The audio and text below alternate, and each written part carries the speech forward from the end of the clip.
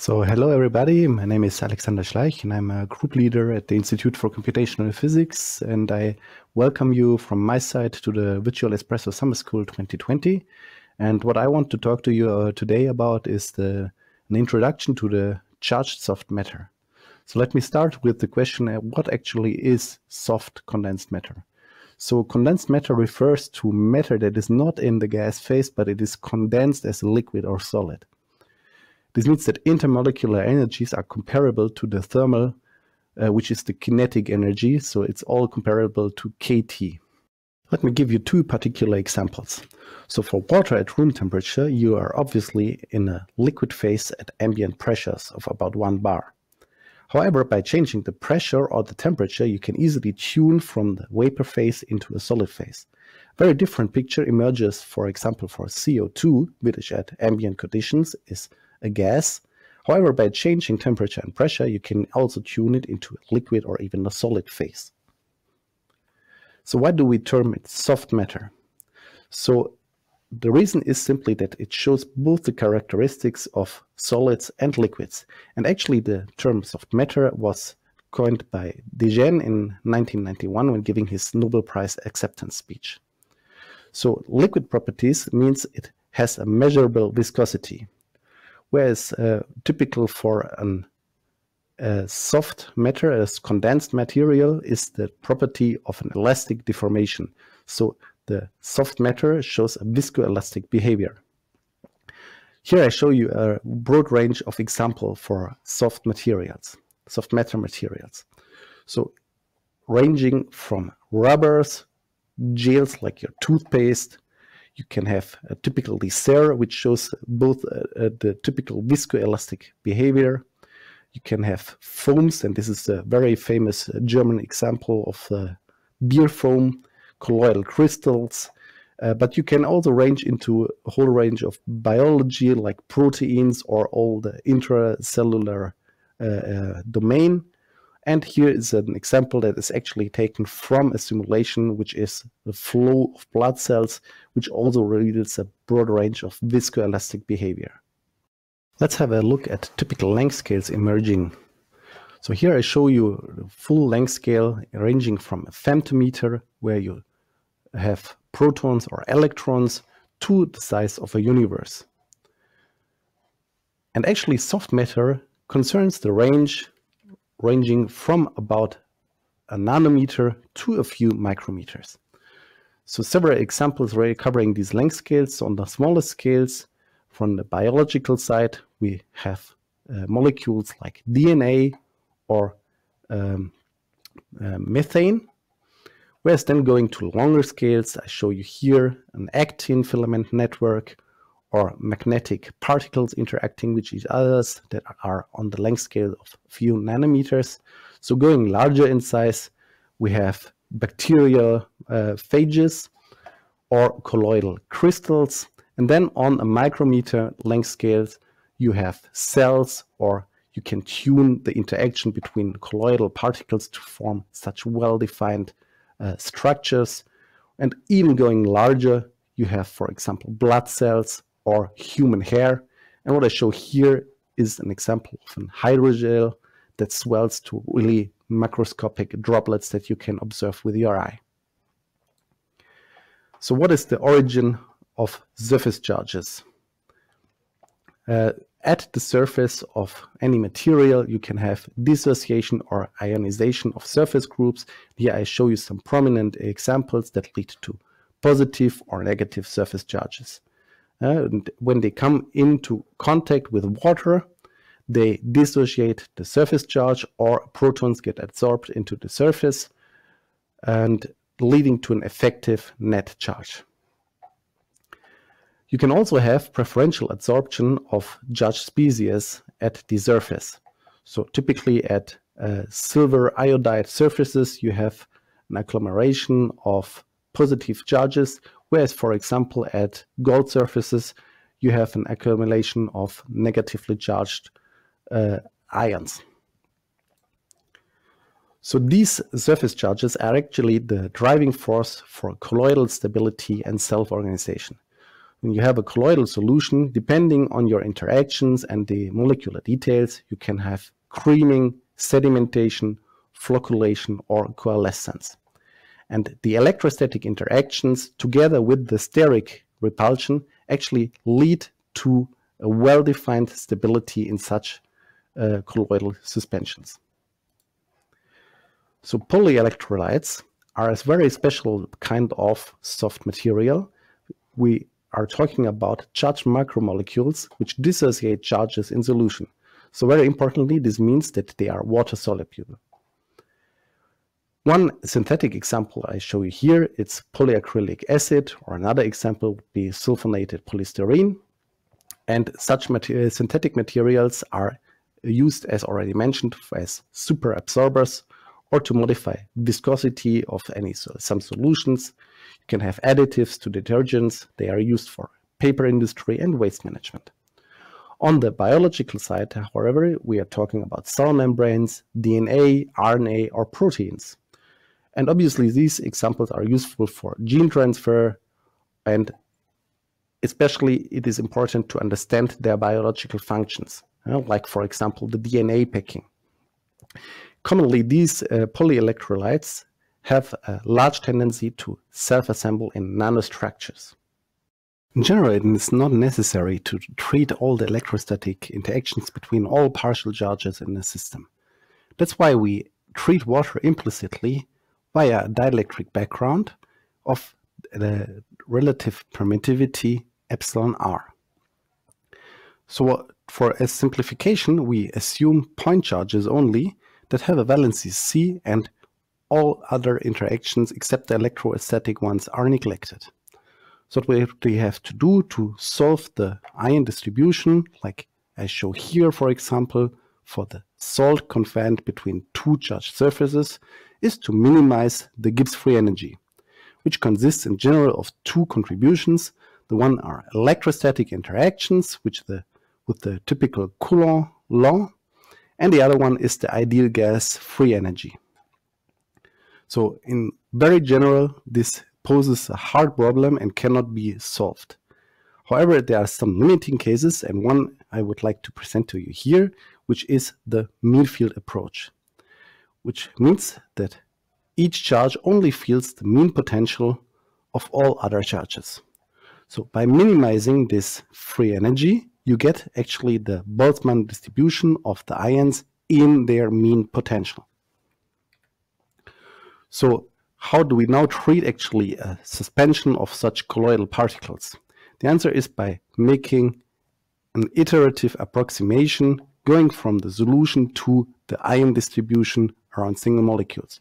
So you typically divide your system in smaller uh, unit cells and then assign a, a cell model to each charged macroion and then solve in detail the ion distribution by factorization of the many-party partition function into the product of one particle partition functions.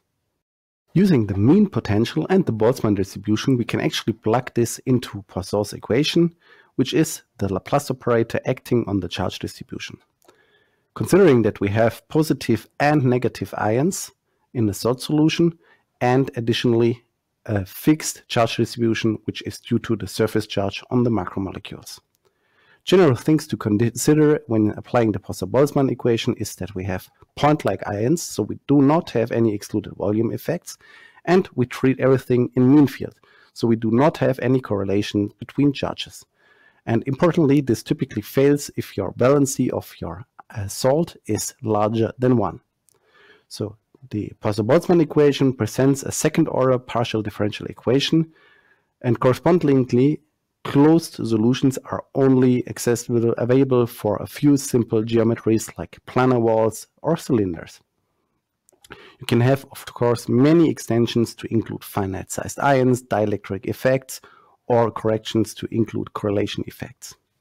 If we assume that we have a 1-1 electrolyte, which means that we have a valency of plus and minus 1 only, like for example for sodium chloride, and we express the potential in reduced units of thermal energy, then we can actually simplify this expression to the famous Sinh expression, where we introduced the uh, inverse squared screening length that I will explain you on the next slide. So the idea behind this screening length is that uh, we can perform a linearization of this Poisson-Boltzmann equation in the case where the potential is small compared to the thermal energy. And in this case, you see that the solution of the linearized Poisson-Boltzmann equation is actually given by a screened solution with a characteristic screening length termed the Debye length, which is given by this expression here. This, importantly, due to this exponential screening, the Debye screening length corresponds to the characteristic length scale of the electrostatic interactions in the salt. As you can see from the equation, the dependence on the salt concentration is 1 over square root of concentration, which yields about 3 angstrom for a 1 molar sodium chloride solution in water. At physiological conditions of about 100 millimole, this corresponds already to a nanometer. And if you have pure water, you get something like a micrometer where all electrostatic interactions are screened due to the autoionization of water.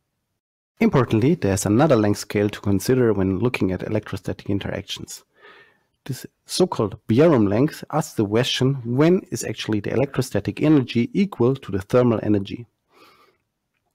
And by solving this for the Bjerrum length, you obtain this expression and plugging in the numbers for water at room temperature, which is uh, has a relative dielectric constant of about 80, you see actually that you have 7 angstroms of Bjerrum length.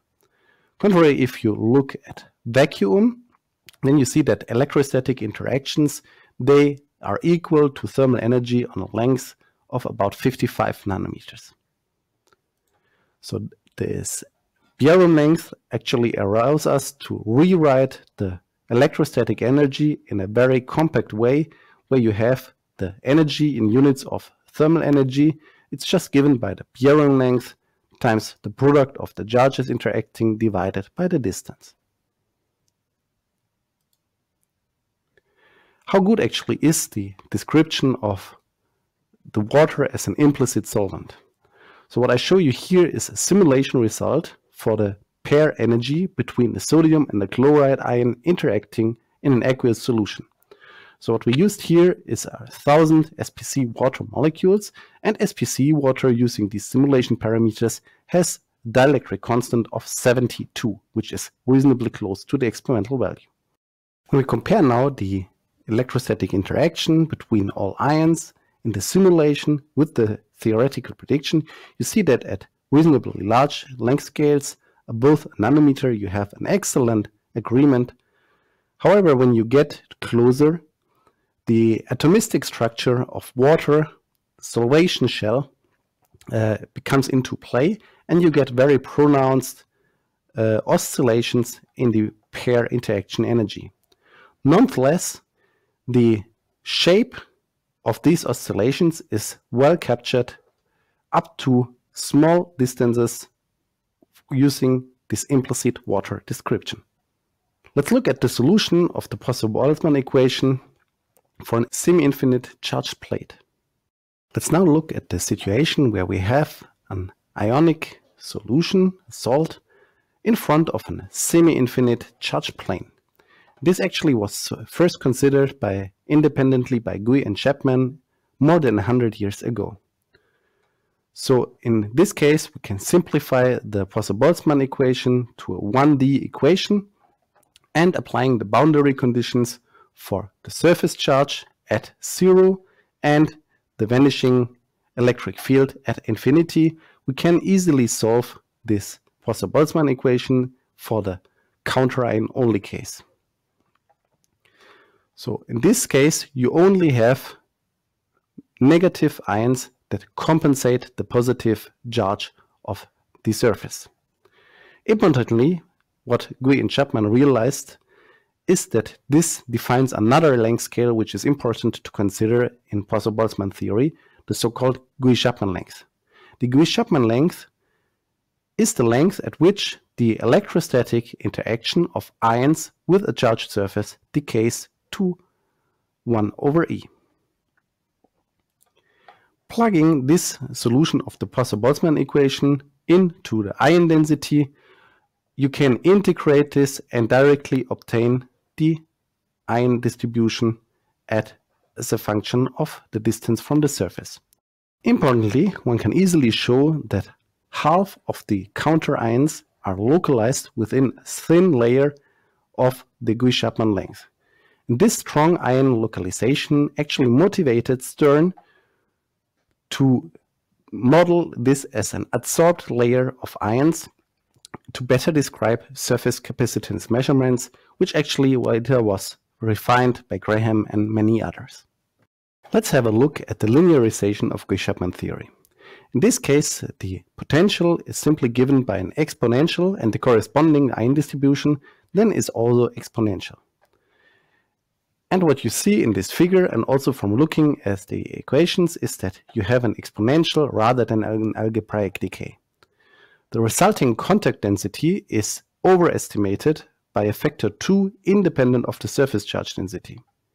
Thus the linearized Poisson-Boltzmann theory in the salt-free case fails already at arbitrarily small values of the surface charge density. Let's look at driving force for colloidal stability. And the first ones to analyze this in detail were Derjaguin, Landau, Verwey, and Overbeek in the 1940s. And they realized that actually this is due to an interplay of screened electrostatic interactions, the so-called Yukawa potential, which for large colloidal particles of size A reads like this, where kappa is the screening length introduced previously. The attractive interactions result from van der Waals forces, which for small molecular particles typically scale like 1 over r to the 6. However, for large colloidal particles, it can be approximated using the radius of the colloidal particles and the Hamaker constant, and then you see that you have a long range 1 over r uh, attraction in this case. The resulting net interaction is repulsive on large length scales and then diverges as 1 over r on the small length scales. That's why in simulations you typically include a short range in repulsion to model the Pauli exclusion principle. This results in the famous Lennard-Jones or Buckingham potentials. So let's come back to the problem of polyelectrolyte modeling. So when modeling a polyelectrolyte in a salt solution, in general, you have to do it with a very complex interaction because the ion distribution is directly coupled to polymer conformations. To make a simplification valid for stiff and stretched polymer conformations, we model a polyelectrolyte in the following as a uniformly charged rod. So we again set up a minimal cell model consisting of charges on an radial axis and the cylinder as a width of capital R. These line charges are separated by, the, by a characteristic distance b, such that the corresponding line charge density reads as E over B. In this one-dimensional system, actually the electrostatic potential is proportional to the logarithm of the radial coordinate. What we are interested in now is if it is energy, uh, favorable for the ions to condense onto this line charge density or to stay somewhere in this cell volume. And we followed Onsager's uh, condensation argument, uh, where he considered the free energy change bringing the ion from somewhere in this volume to a certain distance r on at the line charge. And according to this, the free energy uh, consists of both an energetic and a contrib uh, entropic contribution, where the energetic contribution is just given by the uh, ratio of the electrostatic potentials. So it's the logarithmic ratio of the two radii.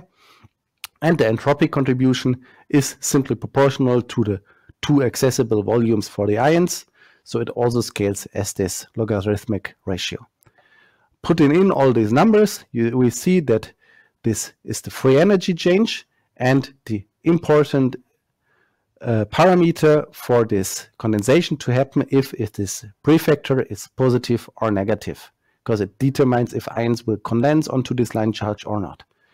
So if this ratio here, the so-called Manning parameter, is actually smaller than 1, then the resulting free energy will be negative, meaning that the ions favorably condense onto this line charge, whereas if it is larger than 1, then the system uh, uh, actually prefers to have the ions somewhere in the cell model. You see also that uh, this uh, ion condensation argument only makes sense in a cylindrical symmetry because if you have a charged plane, then uh, the uh, volume ratios always favor an energy dominated case, meaning that you have no condensation. Whereas in the charged sphere, you have an entropy dominated system, meaning that you will always condense onto the sphere surface. With this, we are now able to actually write down the Poisson-Boltzmann equation in this cylindrical cell model of a given line charge density lambda, and the charge rod has a certain radius r0. We write down again the Bjerrum length and the Manning parameter, and we again introduce the reduced electrostatic potential. Then the uh, Poisson-Boltzmann equation in these units reads as this, and the corresponding uh, charge distribution for, just follows from the electrostatic potential. The boundary conditions are given by the line charge density at the cylinder boundary and by the vanishing electrostatic uh, field at the cell boundary. The solution of the Poisson-Boltzmann equation then can be calculated as follows, which you can easily check by inserting into the Poisson-Boltzmann equation. And these integration constants then actually are have to be determined based on the corresponding boundary conditions. Having assessed the solution of the Poisson-Boltzmann equation, we can now integrate the ion distribution function to obtain the fraction of ions at a certain distance r. And we know actually that from in a Manning condensation picture for Manning parameters larger than 1, we expect the ions to be condensed. However, in the Poisson-Boltzmann solution, the fraction of condensed ions is uh, finite even if we send the cell model to infinity. That's why to map this to an effective two-state model, we introduce an inflection, point criterion where we actually say that the um, fraction that ions condense if there's an inflection point at the so-called Manning radius, and then the corresponding fraction of condensed ions corresponds exactly to this Manning parameter. Now let's, let's briefly discuss the case when we don't have only counter ions in the system, but where we have added salt in the solution. What happens is actually that the inflection points shift corresponding to the salt concentration, and we have to translate the ion fraction into a charge fraction. The more salt we have, we, the more screening we have. And thus the condensed layer contracts as you can see in this picture here. Looking at the inflection point criterion, you see that for given uh, screening length, new inflection points appear and this corresponds to a certain range where you have condensation. If uh, the Debye screening is smaller than the radius of the cell model, then you have these new uh, inflection points appearing. Whereas if you get smaller than this um, uh, Manning radius that we calculated previously, you will not observe any uh, inflection points anymore because then actually the electrostatic screening due to the, the Poisson-Boltzmann solution dominates.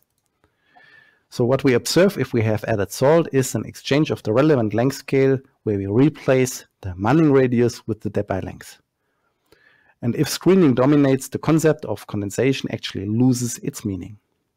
Finally, let's come to the question how we can simulate such a system in a computer. So what we have to do is we set up a geometry with this hex uh, cylindrical rod and to actually make optimal use of the volume to surface ratio, we use hexagonal simulation cell and employ periodic boundary conditions to make this rod infinite. To treat the electrostatics, we use the P3M algorithm and the interaction between the ions cannot be point-like because if particles would overlap, then we would have infinite energies. That's why we replace the point-like ions by finite-sized ions using either hardcore potential or a typical Lennard-Jones potential here. To have the system coupled to a solvent at a certain temperature, we use a Langevin thermostat, which does nothing else than add the noise that is corresponding uh, chosen correspondingly, such that it has certain friction, uh, and we get the right diffusion constant of the ions. Let's now compare the simulation results to the predictions of Poisson-Boltzmann theory. And again, I remind you that the Poisson-Boltzmann theory fixes only the universal ratio of the Manning parameter times the valency. In general, we observe that the Poisson-Boltzmann theory uh, is, uh, predicts less condensation than compared to the simulations. And we see that this product of the Manning parameter times the valency is no longer universal. Actually, the discrepancy increases with the ion valence. What we show in yellow here actually is a local density approximation, which is a correction to the Poisson-Boltzmann free energy function and kind of includes correlation effects. What we see is that the Poisson-Boltzmann theory neglects correlations and these enhance actually counter-ion condensation, especially for multivalent ions. Let us last take one closer look at what happens if we have now multivalent salt. To this we consider a 2,2 salt and a rather high density. And what we see from the simulations compared to the Poisson-Boltzmann theory is that the rod charge gets repeatedly overcompensated and we see the establishment of reverse charge layers. These charged oscillations are damped exponentially.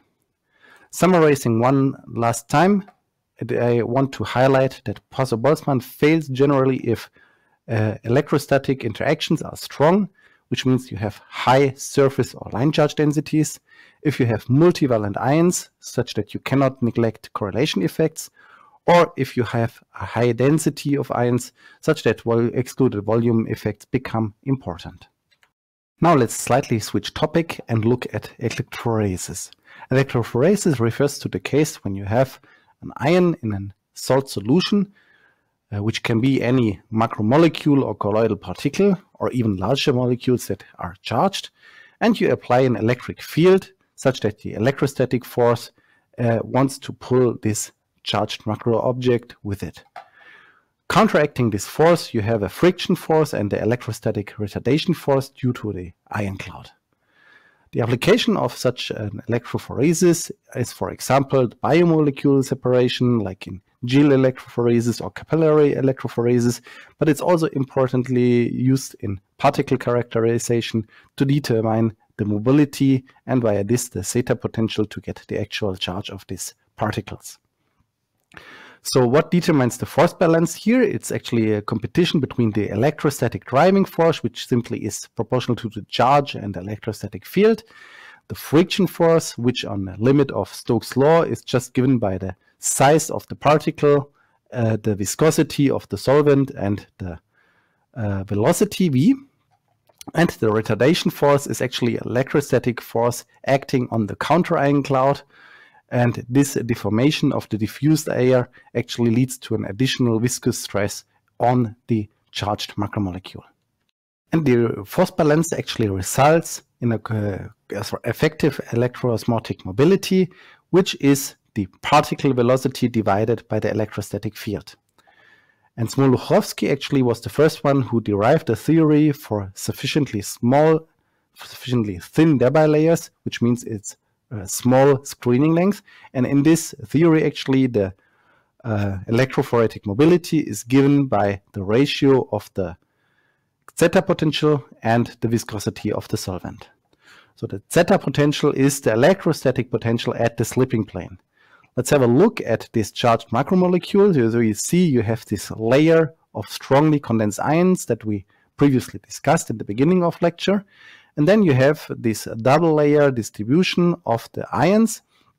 And the zeta potential actually really refers to the uh, poten electrostatic potential at this slipping plane, which is really the plane where the effective hydrodynamic radius of the particle is. And in general, uh, this uh, zeta potential depends on the colloid radius a and the screening length kappa via the Henry function, where the Henry function actually can take values between 1 and 1.5. So to measure this uh, electrophoretic mobility in simulations efficiently, it is actually uh, clever to make use of linear response theory. Linear response theory applies if we consider a system with a time-dependent perturbed Hamiltonian. So we have the Hamiltonian with this perturbation, and the perturbation is given by this simple periodic function here. And then A actually is the conjugated quantity which just converts the right-hand side here to an energy. Within linear response theory, now the change of any observable B uh, due to the perturbation can uh, follows uh, by looking at this uh, coefficient, which is then perturbed. And this coefficient actually is given by the observable and the time derivative of the conjugated quantity. And what you see here is that we get the frequency dependent response function. In other words, a single simulation in the linear regime is enough to get the full frequency spectrum of this response function. Let's make this a bit more clear looking at a specific example.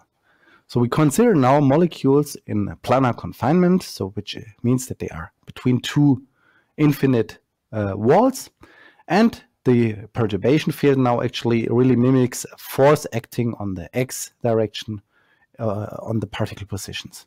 Then it follows that the conjugated quantity actually is the particle position such that its time derivative just is the particle velocities. Plugging this in, we get the uh, time dependent uh, response function where we see we have the correlation function between the summed uh, velocities. Often in such problems, one is only interested in the time independent case where the driving force, which is typically is a gradient in the chemical potential, is time independent. Taking the limit of the frequency to zero, we obtain the classical Green-Kubo formula for the collective diffusion coefficient by plugging this into Fick's law, where we have the transport, the flux, which is given just by the collective diffusion coefficient and the chemical potential gradient. And then by just integrating this uh, velocity correlation function to a long time limit, we obtain the corresponding value of the diffusion coefficient. Now, a bit of care has to be taken in the simulations because of statistical noise at this limit. Uh, uh, when taking the time to infinity, you get more and more noise. That's why typically you look for plateau in the integral and take the corresponding value from this plateau. Now this was just one example of many possible Green-Kubo relations.